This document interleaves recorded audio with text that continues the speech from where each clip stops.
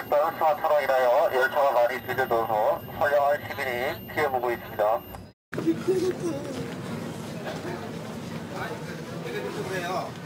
아 시민들을 볼모로 해가지고 이렇게 해가지고 되, 는 거야 이거요? 어? 시민들을 볼모로 해요. 어 시민들 볼모로 하는 거지 뭐야? 그 당신들 때문에 이거 피해 입잖아. 그- 그럼 내가 틀말했어요. 여기 있는 대다수 시민들 당신 그러잖아요. 30분 늦을 뿐이잖아. 평생 이렇게 사는 사람들인데. 어? 아니 어제 불법이지 뭐야 이게? 이게 불법입니까? 이동하고 싶으세요? 대한민국 썩어 쓰는 참 그렇군요. 난 미국에서 왔는데 이런 걸 들고 왔어 그래서 나들 그냥 무슨 무슨 저 집단으로만 하면 되는 거야 거기 대중들한테 피리피리 되는 거야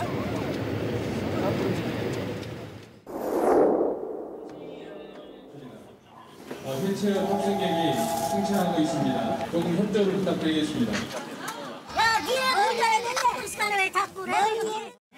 여러분들이 지하철을 안전하게 타고 다니는 저희들도 안전하게 탈 권리가 있습니다. 아니 근데 하루 이틀이 아니잖아. 아니 왜 이러고 아저씨는 내가 출근 시간에 한 시간 반 시간 남았는데. 그래서 내가 그래서 이제 뭐 당신 때문에 죽는 거죠. 어, 내가 뭘 그래.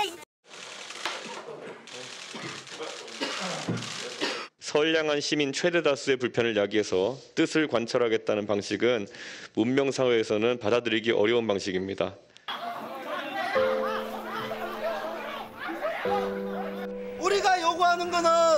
기본적인 것이고 돌아다녀야지 사람을 만나고 돌아다녀야지 연애도 하고 일어날 수 있어야지 교육도 받고 일어날 수 있어야지 친구도 만나고 일어날 수 있어야지 함께 살아갈 수 있는 거 아닙니까? 21년을 걸렸습니다.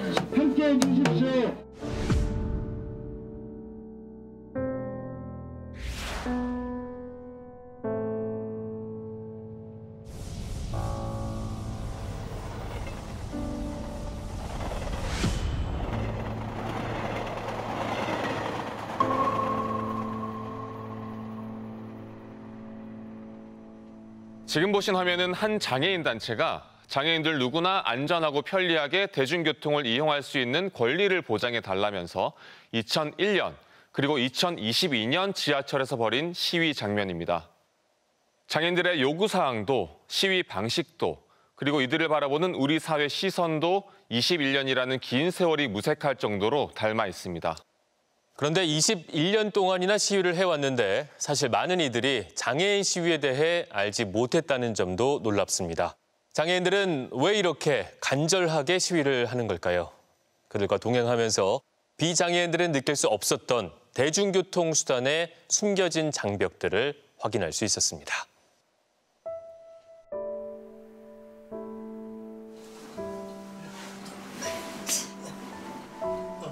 목 아래로는 전혀 움직일 수 없는 척수장애인 이원준 씨. 도움의 손길 없이는 잠자리에서 일어날 수도 휠체어에 오를 수도 없습니다. 육군 기갑부대에서 직업군인으로 근무하며 체력 하나만은 남부러울 게 없었던 그가 장애인이 된 건 11년 전.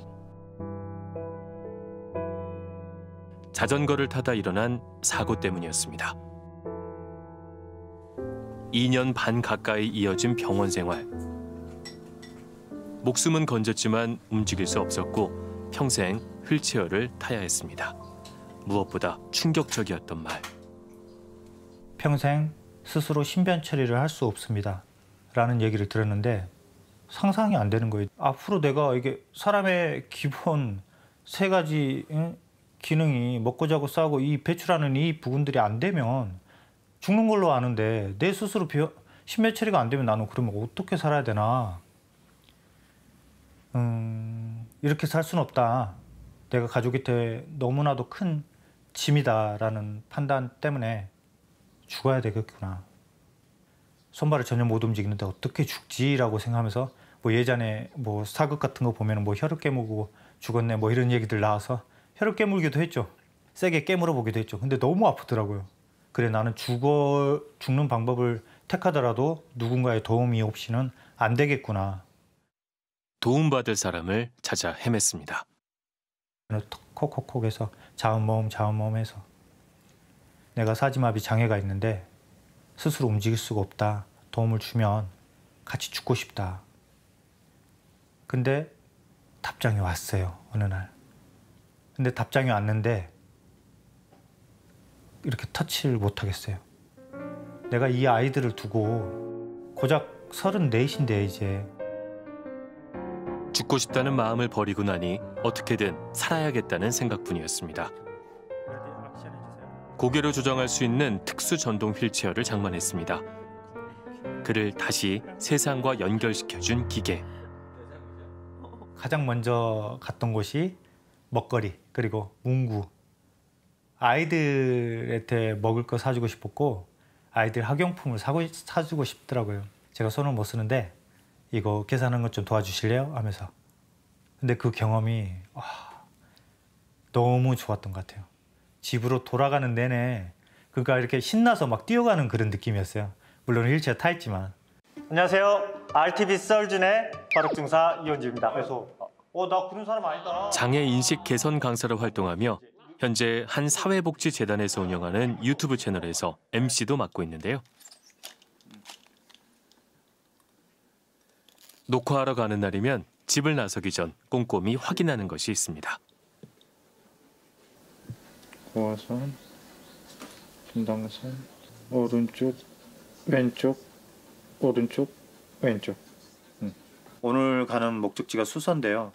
어, 환승을 세 번 해야 돼요. 근데 세 번 해야 되는데 중요한 거는 또 환승하는 구간에서도 엘리베이터가 있는지 그래서 노선을 항상 경로 환승 경로로 확인을 해요. 갔다 올게. 전화할게 끝나고. 약속 시간은 3시. 지하철로 1시간 반이면 도착하는 거리지만 그는 늘 한두 시간 일찍 출발합니다. 저기 부탁 좀 드릴게요. 저 손으로 써주는데 카드를 찍어야 되는데 못. 이거요? 네, 저기 대차고 통과할 때. 손을 못 쓰는 원준 씨는 개찰구를 통과할 때도 엘리베이터를 탈 때도 도움이 필요합니다. 감사합니다. 네, 좋은 하루 되세요. 주변에 사람이 아무도 없어가지고 20분 넘게 기다린 적도 있고 막 그래요. 열차와 승강장 사이의 간격도 지하철 역마다 천차만별. 바퀴가 걸릴 때면 식은땀이 절로 납니다. 그때 승강장하고 전철 사이에 이 간격이 대략 한 10cm 조금 안 됐을 거예요. 근데 단차 간격이 높이도 어느 정도 있었고 지하철을 네 대를 보냈어요. 못 타고 너무 겁이 나가지고 보지 않아도 느껴지는 시선들. 힐끔거리는 것도 모자라 대놓고 쳐다볼 땐 죄를 지은 것도 아닌데 얼굴이 화끈 달아오릅니다. 신기하게 쳐다보는 게 한순간이라고 하면 크게 상처가 안 돼요. 근데 대부분은 정말 오래도록 쳐다봐요. 너무 오래도록 쳐다보고 아이들이 쳐다보는 거에 대해서는 어느 정도 이해는 되는데 특히 이제 나이 드신 분들이 너무 쳐다보니까 아 그냥 적당히 보고 제발 가시 가시던 길로 가셨으면 좋겠다 이런 생각을 할 때가 많죠. 인천에서 공항철도와 9호선, 수인 분당선까지 지하철 세번을 갈아타고 목적지인 수서역에 도착했습니다. 어, 서울 서 그런데 엘리베이터가 고장나 멈춰 있습니다. 앞으로 3주가 지나야 탈 수 있다고 합니다. 휠체어 리프트를 이용하는 것 외엔 다른 방법이 없는 상황. 제작진이 호출 버튼을 눌러보지만 이것도 안 되는데. 저기 호출을 한번 눌러야겠어요. 아, 왔던 길을 다시 돌아가 영무원을 호출합니다. 네, 휠체어 이용자인데요. 리프트 좀 타려고요. 서울교통공사에 따르면 지하철 역사 275곳 중 254곳에선 휠체어를 탄 장애인이 타인의 도움 없이 엘리베이터만 이용해 이동할 수 있다고 되어 있습니다. 하지만 지금처럼 엘리베이터가 한 대만 고장나도 이동에 어려움이 생깁니다. 저는 예전에 타다가 고장 나가지고 그때 되게 되게 힘들었거든요. 고속버스 터미널에서. 그때 119 대원들이 막 다섯 명이 붙어가지고 휠체어 막 내리고 그랬는데 밖으로 나가려면 리프트를 또 한 번 타야 했는데요. 수서역에 도착해 지하철 승강장에서 역을 빠져나가는 데만 총 28분이 걸렸습니다. 장애인들도 똑같은 24시간이 주어지잖아요. 그런데 이렇게 살아가다 보면 장애인들이 하루, 하루가 24시간이 아니라 뭐 4, 50시간인 것 마냥 이렇게 시간이 지체되는 일들이 비일비재해요.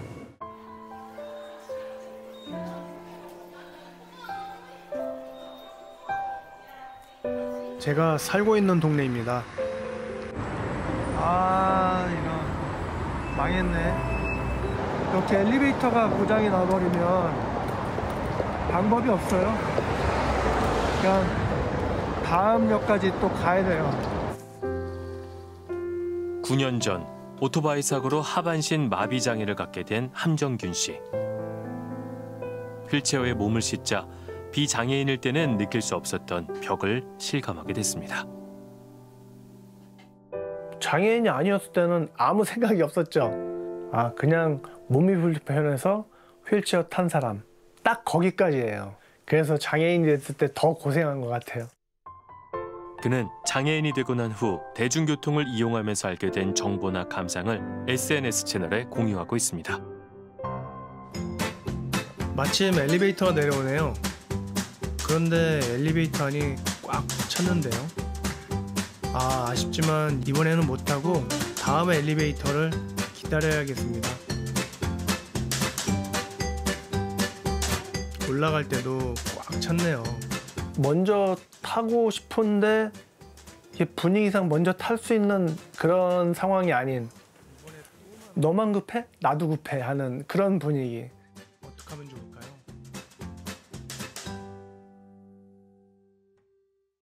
얼마나 기다리셨어요? 한 20분. 여기서 못타는데 사람들이 많아갖고. 휠체어가 문제죠. 아니 근데 내려갈 때도 사람. 내려가는 사람 내리셔야죠. 휠체어가. 죄송한데 좀 나와주세요. 이거 20분 기다렸어요. 이거 먼저 타고 내려오세요. 어떻게 내려갈 수도 있어요? 예, 내려 바로 내려갈 수 있어요. 네.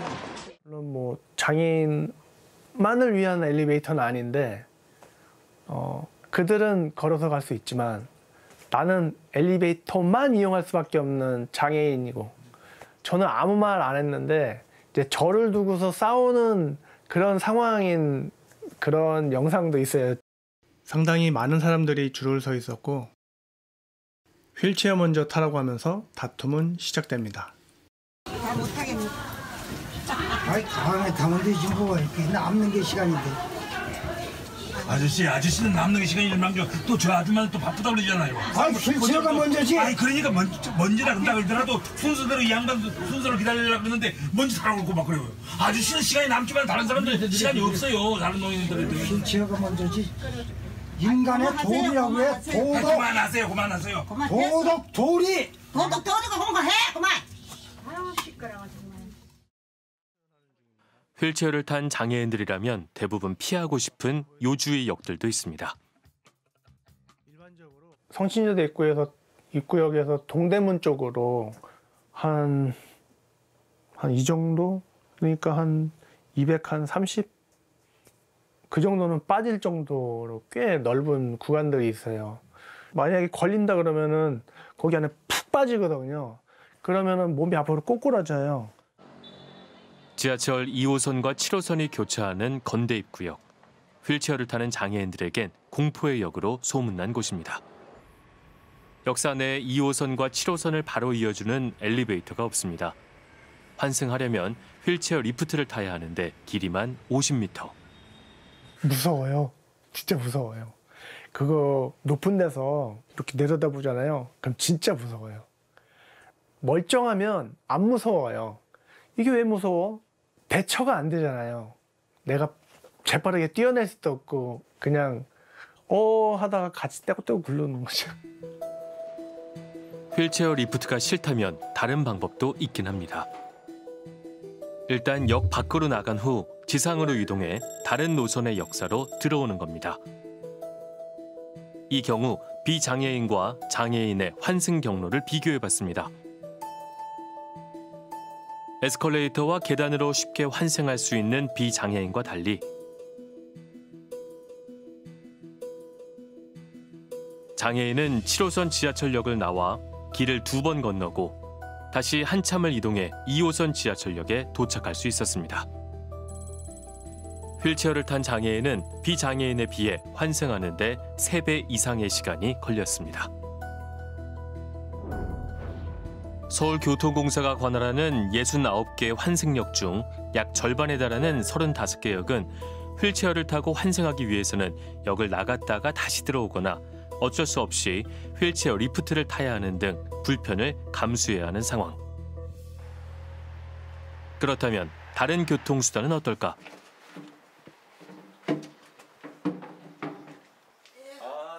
뇌병변 1급 장애를 지닌 장혜경 씨. 장애인에 대한 인식을 바로잡는 강사가 되기 위해 공부 중입니다. 학교 갈 때 주로 이용하는 교통수단은 장애인 콜택시.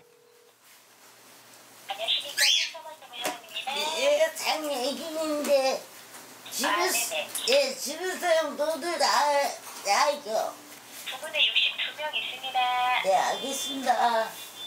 62분 있습니다 하고 그냥 끝나는 게 대기자가 62명이라는 뜻이에요? 네.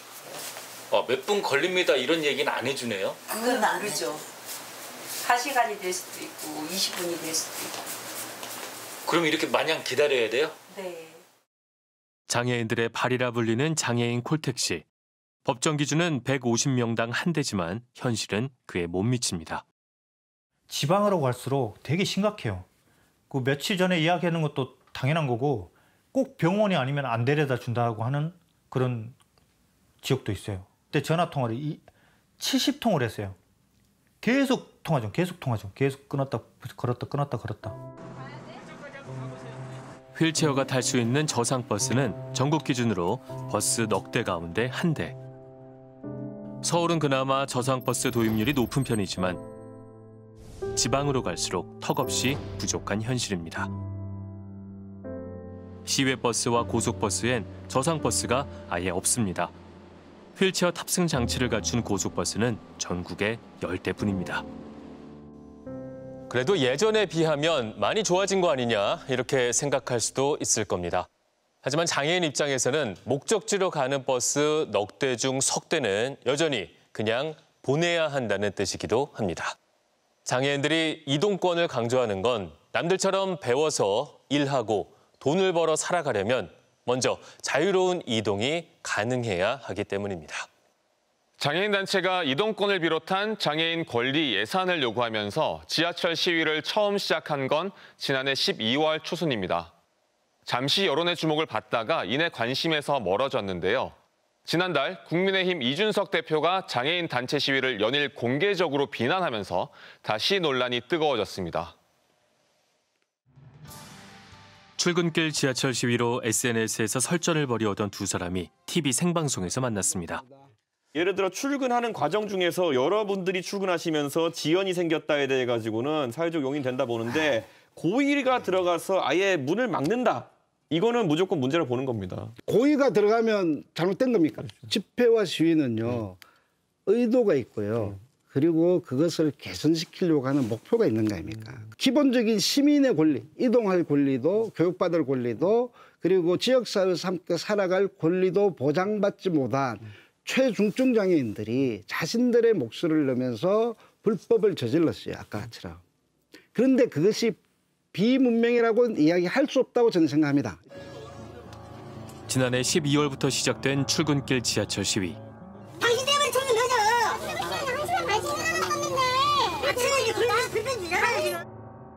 이준석 대표가 공개적인 비난을 시작한 건 지난달 25일.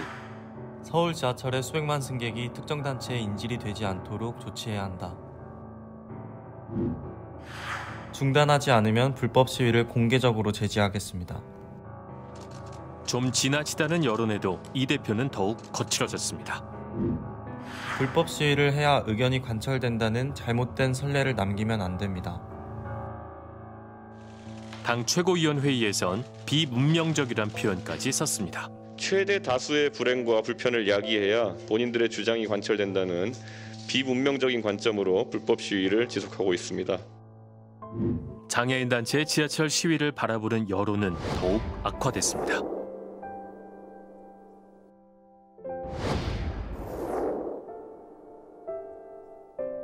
온라인 공간에선 장애인에 대한 도를 넘는 혐오 발언들이 쏟아졌습니다. 이 사무실에 전화를 받질 못해요. 수백 통이 한꺼번에 쏟아져요. 어, 그리고 홈페이지까지 다운시켜 버리더라고요. 시민들 세금으로 처먹고 사는 거 아니야. 어, 지옥에나 떨어져.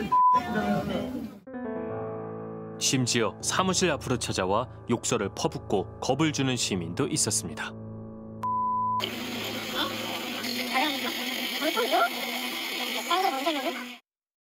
정치인이 해야 될 책무는 어, 그 얘기를 들어보고 또 해결할 수 있는 방안들을 찾아서 어쨌든 그 시위가 더 이상 어, 확대되지 않도록 뭔가 수습을 해야 되잖아요.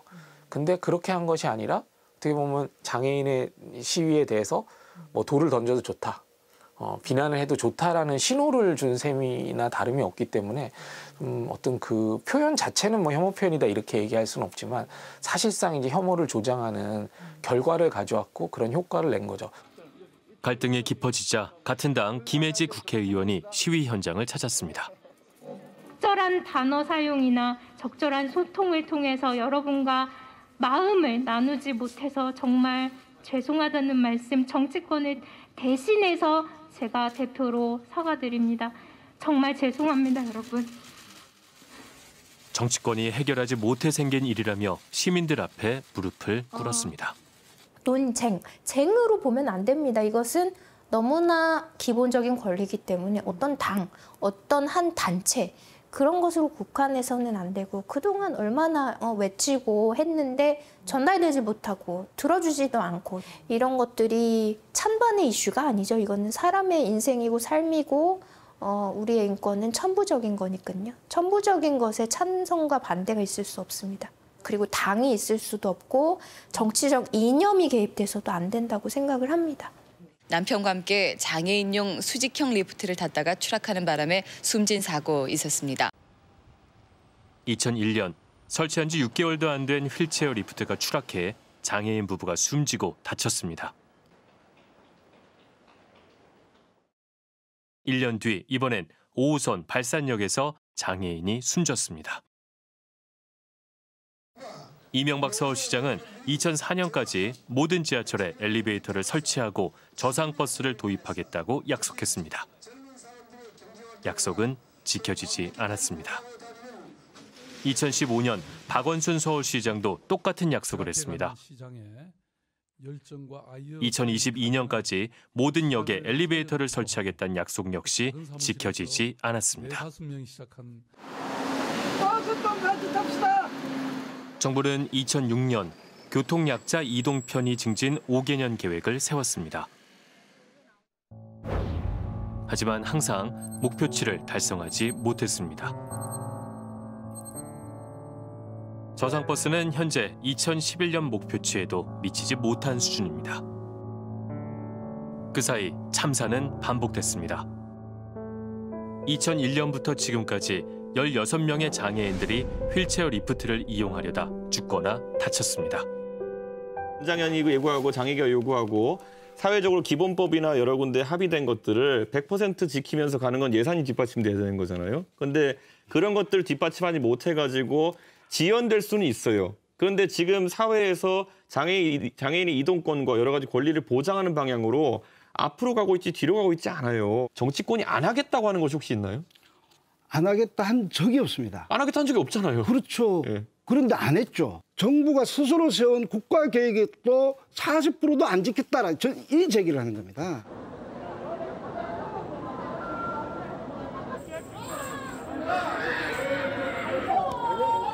그나마 그동안 생긴 변화들도 장애인들이 이렇게 소리를 내고 싸웠기에 가능했다고 합니다. 지하철 출근길에 불편함을 왜 저희가 모르겠습니까? 그 서민들의 이 발발 발을 굴리는 이 소리가 왜 저희들 귀에도 안 들리겠습니까? 그 기획재정부 앞에서요, 제가 락카칠했거든요. 그거 1,500만 원 벌금 맞았어요. 그런데 기획재정부 사무관 한 명도 못 보고 나왔어요. 그 1, 1박 2일 거기 있었어요. 기획재정부 장관, 혼난기 장관 집 앞에도 몇번 갔어요. 코빼기도 못 봤죠. 경찰만 보고 왔죠. 그리고 뭐 청와대도 갔고요. 뭐 국회도 갔고요. 국회 안에서 로비에서도 플랭크도 내리다가 또 다 쫓겨나고요. 20년 세월에 100번의 이런 것들이 있었다면 거의 95번은 합법적이고 어떤 토론의 문화, 수많은 것들을 다 했다라는 겁니다. 저희는. 예. 그럼에도 불구하고 그렇게 하는 거 가지고는 꿈쩍도 않는 사회가 있더라는 겁니다.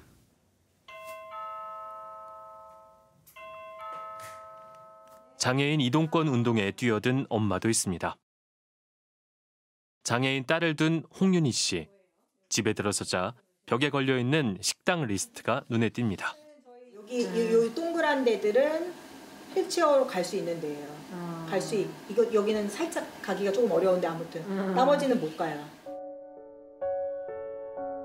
태어나자마자 암투병을 해야 했던 딸. 후유증으로 하반신이 마비됐습니다. 휠체어를 타는 딸을 키우며 장애인들의 불편함을 실감했습니다. 저희 남편이 어, 아이가 만약에 장애를 갖게 되더라도 30년 뒤, 40년 뒤면은 좋아질 거야. 아이가 어른이 되면 어, 장애인이 살기 좋아질 거야라고 얘기를 했어요. 근데 이제 저는 지금은 알죠. 이게 저절로 좋아지는 건 없다고.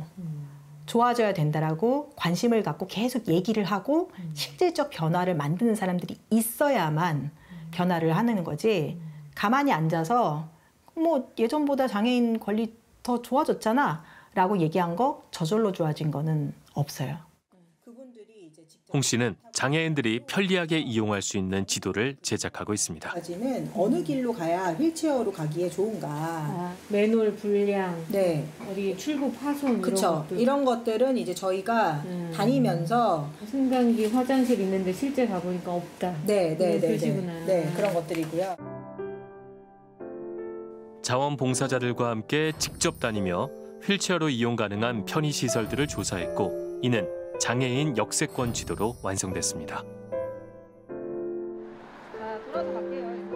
오늘은 성수역 부근으로 현장 조사를 나왔습니다. 여기 기울어 있죠? 네. 여기, 여기 되죠? 네. 그리고 여기 근데 여기 여기 들어가죠. 여기. 들어가죠. 어. 자, 멀어 멀어 멀어 안돼 안돼 멀어. 안돼 여기 안 돼. 안돼 못 가 못 가. 또 질러 가야겠다. 갑자기 차도로 휠체어를 몰고 가는 자원봉사자.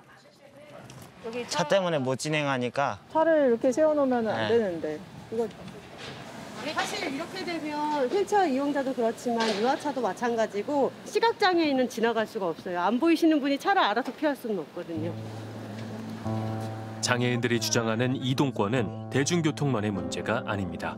거리엔 수많은 장벽들이 있습니다. 어? 이 경사로는 이 경사로는 올라가라고 있는 거야. 올라가다가 넘어져 죽으라고 있는 거야. 저 있어. 들어가는 게 하나 더 있네 템이. 이러면 못 가요.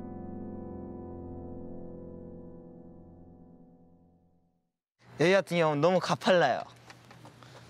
그래서 뒤에 누가 없으면 아예 그냥 힘 빠져서 뒤로 넘어. 이들이 돌아본 주요 역세권의 상황은 대부분 비슷했다고 합니다. 어, 한 역의 기준으로 우리가 10개의 상점, 그러니까 100개의 상점을 본다고 하면 그중에 두세 개, 많으면 다섯 개에서 여덟 개 사이의 상점을 우리가 기록할 수 있거든요. 여기서 말하는 기록은 들어갈 수 있는 곳.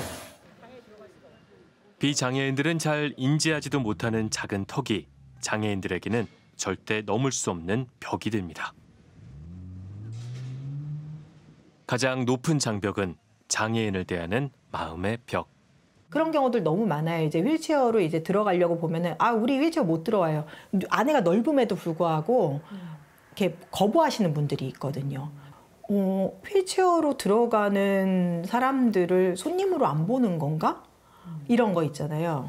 바깥에 어떤 세상 중에 내 아이를 어, 일반 시민이나 고객으로 받지 않을 사람들이 있을 수도 있다라는 그 불안감. 그런 것들이 이제 생각을 해보면 굉장히 우울하고 힘든 것 같아요. 그러니까 결국은 장애인 복지라는 영역을 설정해 놓고 어, 한국 사회가 이제 거기에는 이제 뭐, 뭐랄까요 이제 등을 어, 뭐 담을 쌓고 등을 돌리고 살았다. 그나마 이제 장애인 복지 시스템이 있다 보니까 이제 움직이는 동선이 있어요. 근데 그 동선이 우리랑 다른 거예요. 그러니까 일, 우리의 일상과 다른 거예요. 비장애인의 일상과 다른 거죠. 예, 그러다 보니까 어, 이제 우리가 장애인을 많이 못 봤던 거고. 그러니까 이번에 놀란 거고.